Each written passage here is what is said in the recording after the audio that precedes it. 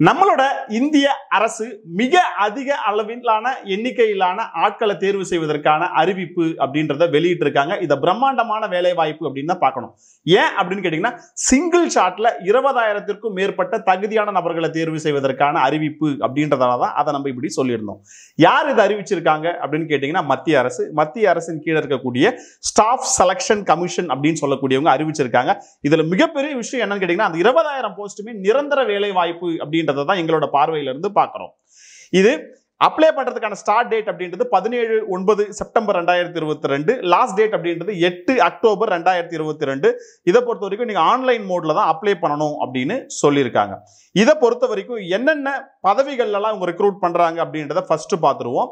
Assistant audit officer account assistant officer account section officer inspector income tax inspector அடுத்தது sub inspector inspector post assistant post division accountant sub inspector auditor accountant tax assistant upper division clerk அப்படின்னு சொல்லக்கூடிய UTC இந்தந்த பதவிகள்லாம் வேலை வாய்ப்புகள் அப்படின்றது அறிவிக்கப்பட்டிருக்கு.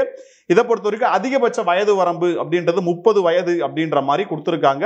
ஆண்கள் பெண்கள் இரு பாலருமே அப்ளை பண்ணலாம். அடுத்தது என்ன படிச்சவங்க அப்ளை பண்ணலாம் அப்படின்னு கேட்டீங்க அப்படின்னா எனி டிகிரி படித்தவங்க அப்ளை பண்ணலாம். ஒவ்வொரு பதவிக்கும் வெவ்வேறு மாதிரியான டிகிரி கோர்சஸ் அப்படின்றது முடிச்சிருக்கணும் அப்படின்னு எதிர்பார்க்குறாங்க. அந்தந்த பதவிகளில் நீங்கள் அந்தந்த படிப்பு படிச்சிருந்தீங்கன்னா தாராளமாக போயிட்டு அப்ளை பண்ணலாம். இந்தியாவில் இருக்கக்கூடிய அனைவரும் இந்திய குடிமக்கள் அனைவரும் அவங்க சொன்ன கல்வி தகுதிகள் இருக்கக்கூடியவங்க அப்ளை பண்ணலாம். ஓகே இதை பொறுத்த வரைக்கும் அப்ளிகேஷன் ஃபீஸ் ஏதாவது இருக்கா அப்படின்னு கேட்டிங்கன்னா கண்டிப்பாக இருக்கு. நீங்கள் வந்து நூறு ரூபாய் அப்படின்றது அப்ளிகேஷன் அப்படின்னு கவர்மெண்ட் நோட்டிஃபிகேஷன்லேயே கொடுத்துருக்காங்க. இதுவே பெண்களாக இருந்தால் எஸ்சி எஸ்டியாக இருக்காங்க டிசபிலிட்டிஸாக இருக்காங்க எக்கனாமிக்கலி வீக்கர் செக்ஷனாக இருக்காங்க அப்படின்னா அவங்களுக்கு பேமெண்ட் அப்படின்றது இல்லை அப்ளிகேஷனை பொறுத்த வரைக்கும் அப்படின்னு சொல்லியிருக்காங்க.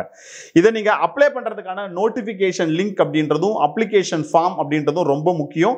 இது ரெண்டுத்தையுமே இந்த வீடியோட டிஸ்கிரிப்ஷனில் நம்ம கொடுத்துருக்கோம். அதில் பார்த்துட்டு நீங்கள் அதுக்கு தகுதியாக இருக்கீங்க அப்படின்னா தாராளமாக அப்ளை பண்ணுங்க. இதை பொறுத்த வரைக்கும் எக்ஸாம் சென்டர் அப்படின்றது தமிழ்நாட்டில் இருக்குது தமிழ்நாட்டில் சென்னை கோயம்புத்தூர் கிருஷ்ணகிரி மதுரை சேலம் திருச்சிராப்பள்ளி திருநெல்வேலி அண்ட் வெள்ளூர் இந்தந்த பகுதிகளில் எக்ஸாமினேஷன் சென்டர் அப்படின்றதும் இருக்கு. நம்ம இது கூடுதலா உங்களுக்கு ரெண்டு விஷயம் கொடுத்துருக்கோம். இந்த எக்ஸாமினேஷனுக்கு நீங்க ப்ரிப்பேர் பண்ணக்கூடிய சிலபஸ் அண்ட் எக்ஸாம் பேட்டர்ன் அப்படின்றதும் மாடல் கொஷின் பேப்பர் அப்படின்றதையும் நம்ம கொடுத்துருக்கோம். கண்டிப்பா அதை பார்த்துட்டு அந்த எக்ஸாமினேஷனுக்கு ப்ரிப்பேர் பண்ணிட்டு இருபதாயிரம் நபர்களில் ஒரு ஆளா நீங்க அரசு வேலை பெறுவீங்க அப்படின்னு நாங்க நம்புறோம்.